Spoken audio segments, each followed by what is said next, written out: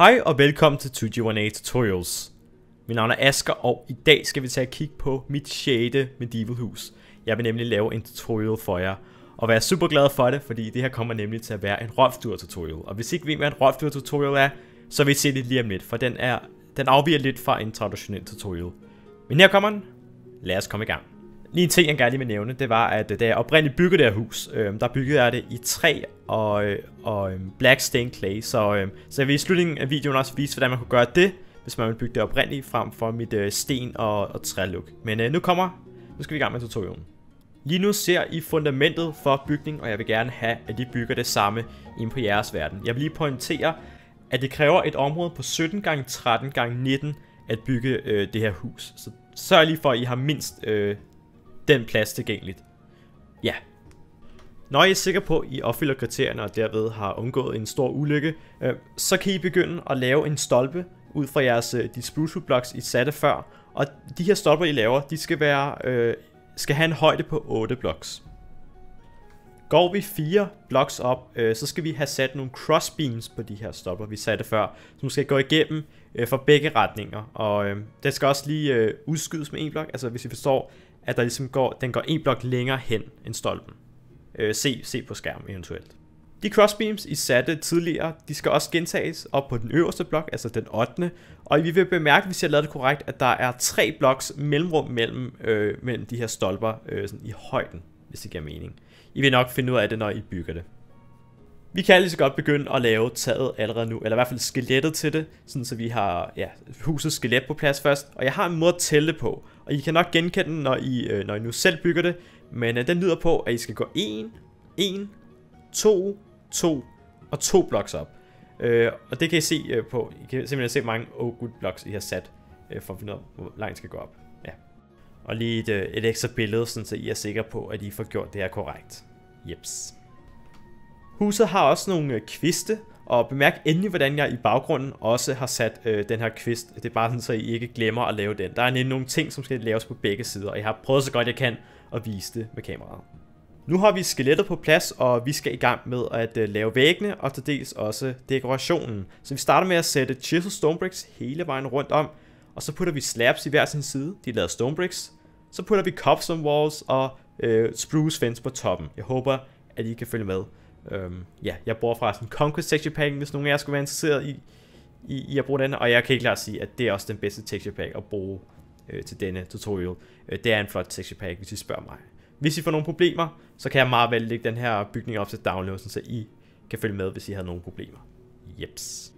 Jeg har udvalgt mig det sted, hvor jeg vil have min dør, og I skal meget, meget koncentreret lægge mærke til, hvor det er, jeg sætter den henne, fordi det kommer til at spille en stor rolle, når I skal bygge senere hen i denne tutorial gå eventuelt tilbage og se, hvordan at, øh, at huset så ud der ved indgangen. Nå, men without further ado, så kan vi gå i gang med at lave døren som det første, bare lige så vi har det på plads. Øh, lad Rolf da vise jer, hvordan man gør, og så skulle I være good to go. Så snart at I har fået lavet døren og bestemt, hvorhen den skulle sidde, så kan I gå i gang med at lave vinduerne hele vejen rundt om huset. Og de gælder, altså de skal sættes alle, alle de resterende steder. Øhm, og vinduerne, de er identiske. I skal i hvert fald bare sørge for at gentage det hele vejen rundt øh, i øh, ja, dette hus. På den lange side af huset, altså det sted, hvor der så ikke er en dør, øh, der skal vi have en trappe op. Øh, det har jeg i hvert fald besluttet mig, og der sætter jeg en stone brick i stedet for glas. Jeg har besluttet mig, at jeg skal have et vindue øh, foran, eller på bagsiden af huset, kan man sige, der hvor døren ikke er. Så jeg sætter to øh, spruce blocks, og så sætter jeg øh, to cobblestone walls øh, i siderne, eller i kanterne. Øh, på siden, hvor I har døren, der skal hele rækken fyldes ud med spruce blocks, og i siderne, begge sider, der skal I bare bruge cobblestone walls. Bare nøjes med at sætte en i starten. Nå, men øh, ved jeres cobblestone walls, så kan vi nu i toppen også sætte en cobblestone walls, en wall, og så sætter vi en spruce fence i midten. Vi skal nu have markeret der, hvor vores, øh, vores vinduer, kan man sige, skal være. Øh, så jeg sætter øh, cobblestone stairs øh, normalt og upside down, øh, der hvor de skal være, basically. Ja. Yeah. Makes sense, right?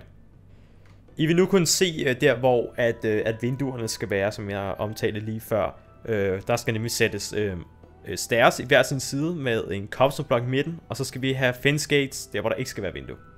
Og øh, vi kan jo ikke lave vinduer i siderne, øh, så der, der sætter I også bare fence gates. Men på den anden side, der skal vi have et vindue i midten, og der kan I også se, hvordan at, øh, at øh, vi gør der. Husk også at sætte fence gates i siderne. Jeg håber, I kan følge med i den tutorial. De steder, hvor I har sat fence gates, eller i hvert fald de steder, hvor der ikke skal være nogen vinduer, der kan I nu begynde at sætte blomsterkasser, hvor I kan plante nogle blomster i. Og det gælder selvfølgelig også øh, for øh, her, siden med døren, øh, hvor den skal være i midten til gengæld. Nu tager jeg lige over og viser jer, hvordan at øh, stærsene skal sidde her. De skal nemlig sidde i kanterne, øh, der hvor øh, at vinduet ikke skal være. Øh, kan I se, hvordan de skal sidde der. Vi kører hele vejen rundt og, og sætter dem. Husk på, at hvis denne tutorial går for hurtigt for jer, så kan I bare vide, at I altid kan sætte hastigheden ned inde i indstillinger. Det havde I måske glemt. For nylig har I sat nogle blomsterkasser, og øh, med de her blomsterkasser, der kan I nu gå i gang med at lave vinduer, og det er egentlig bare en endform af red stained clay, så putter I et glas i midten, og så putter I sprucewood spruce wood i toppen. I kan lige få et, øh, et look på, hvordan det skal se ud. Bare lige sådan, I har nogenlunde en anelse, ikke? Nu kommer jeg jo ikke til at øh, gå over interior i denne tutorial, men jeg vælger altså at bruge stone bricks i bunden af mine, øh, af mine vinduer her, hvis man skulle være interesseret i det. Nu går vi øh, over og begynder på de vinduer, som vi øh, nu snart længe har omtalt, men ikke har bygget på. Og læg endelig mærke til, hvordan de skal bygges. Det, vinduerne er lidt det samme som før, men, øh, men der er nogle små ændringer, og de, øh, de varierer også øh, fra side til side af huset, så I må lige øh, holde tungen i munden her. Så snart at den side er overstået, I har lavet den færdig, så kan I begynde på den næste, øh, den side med døren, øh, hvor at designet er en lille smule anderledes, og det er faktisk lidt et tilfælde, fordi jeg var doven, men jeg tænker, at det alligevel skaber en sjov øh, variation, som, øh, som I, øh, I forhåbentlig synes om. Vi kan jo ikke have den her crossbeam, øh, den faktisk er synlig. Så vi sætter os lige nogle cobblestone og noget spruce i vejen. Og øh, yderligere så vil vi heller ikke have, at øh, de øverste, øh, øverste crossbeams vi har sat, dem som stikker ud, øh, vi vil gerne have, at de får en trapdoor på sig, så de ikke er synlige. Ja. Vi kan så derefter øh, gå over til siderne, hvor øh, vi skal have lavet, have, have lavet noget øh, design her. Øh, kan I se, hvordan det skal se ud? Øh, vi bruger nogle øh, cobblestone slabs, og vi bruger hele, hele spruce blocks til dette. Så sætter vi lige en cobblestone block i midten. Dernæst så påbegynder vi taget øh, på bygningen, eller i hvert fald sådan øh, ramme, kan man sige. Bemærk endelig, hvordan at der sidder en upside down stair øh, helt nede i bunden, øh, på højde med, med, med vores øh, crossbeams. Øh, fordi det er bare en af de små detaljer, som jeg tror, nogen af jer sikkert kunne overse. Og jeg var sådan næsten lige ved at gøre det selv, øh, men det lykkedes mig heldigvis. Øh, se endelig, hvordan at det her det udføres. I vil synes om det i slutningen. Og I ikke sidder med problemer. Og ja, der, der har vi den. I kunne se den lige dernede. Det var lige den, jeg, jeg omtalte. I midten, der skal vi også have lavet noget design, så den her væg ikke ser så bare ud. Så vi starter med at sætte en øh, fenceblok. fence block. Vi sætter en stair, en upside down stair. De er lavet cobblestone. Og så sætter vi to fence i toppen. Og så yderligere så i baggrunden, der sætter vi white stained clay. Vores kviste, de skal også have den her outline af cobblestone, og som jeg nævnte før, så kunne man også lave den af træ, uh, men nu viser jeg altså cobblestone, for det var det design, jeg endte med at gå med, og det jeg synes, der så bedst ud. Så hold tungen i munden og følg med. Jeg har allerede lavet den ene side, så I skal egentlig bare følge med i den anden, og så gentage det, så I har nogen... Ja, så I får bygget det, ikke? Jeps. Husk også at bemærke det her sted nede i bunden, som også lige skal bygges.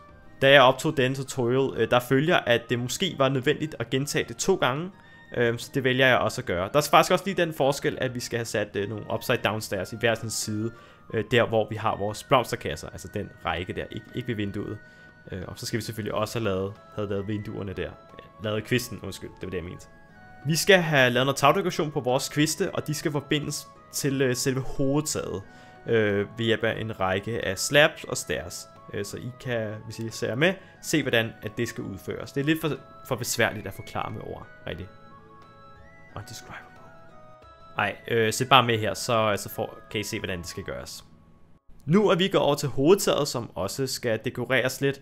Og øh, der må I holde tungen i munden og følge med i mine skridt, når vi går igennem, øh, hvordan at det skal laves. Øh, ja, I kan eventuelt gå i fuld skærm, hvis I ikke har gjort det, øh, så I kan være fuldkommen sikre på, at I har sat, sat det korrekt. Det sidste skridt på dekorationen, det lyder på, at øh, vi skal øh, samle alle de her, de her løse ender øh, i midten her, hvor vi øh, sætter en slab i midten, som er, for, ja, som er en blok højere end de andre. Sådan der. Vi er kommet til aftenens sidste skridt. Ja, jeg sidder op til den her video klokken halv 10 om aftenen. Øh, men det er simpelthen nu, at vi skal i gang med at dekorere vores tag. Og igen, så nævnte jeg før, at, øh, at jeg øh, på et andet sted, der brugte jeg hard, eller black stained clay, og jeg brugte træ, Og der, gør, der bliver det langt lettere, fordi der behøver I slet ikke at arbejde med slabs, som vi gør, øh, gør lige her. Øh, det er nemlig noget, der gør det langt sværere. I må virkelig holde tungen i munden, når I bygger det her, fordi det kan være rigtig svært. Øh, I modsætning til, hvis I for eksempel så Black Stained Clay, fordi der er det bare almindelige blocks, I skal arbejde med. I får et billede senere. Altså, man kan jo sige, at I selv bestemmer, hvordan at I skal lave det her design, men nu regner jeg med, at de fleste af jer, I bare gerne vil, ligesom vil, vil have et resultat. I behøver ikke at tænke så meget. Det er derfor, I følger tutorialen. Uh, det er selvfølgelig ikke en negativ ting, uh, men her, der ser jeg simpelthen et billede af, hvordan taget skal laves, hvis I laver det ud af træ og Blackstone Clay. Hvis I bedre kan lide det, jamen så kom med det, i stedet for at bruge jeres tid på, på det andet. Det er da super meget spild af tid. og der har I det. I er blevet færdige med mit 6. middelalderhus. Jeg håber helt klart, at I kunne lide denne tutorial, og hvis I kunne, må I meget gerne give den et like. Hvis I også kan lide det her format med, med rolleflyver tutorials, må I også meget gerne øh, give, ja, skrive en kommentar eller sætte pris på det ved at, ved at like, fordi det er helt klart noget, der tager meget længere tid at lave. Øh, men jeg synes samtidig også, at det giver en bedre professionalitet og den slags. Husk selvfølgelig også at abonnere på min kanal, øh, fordi jeg har masser af tutorials, øh, som I kan gå ind og tjekke, og så har jeg selvfølgelig også masser, øh, i fra kommer selvfølgelig til at være masser i fremtiden. Så tak fordi I så med, og I må have en rigtig god dag. Vi ses i næste video.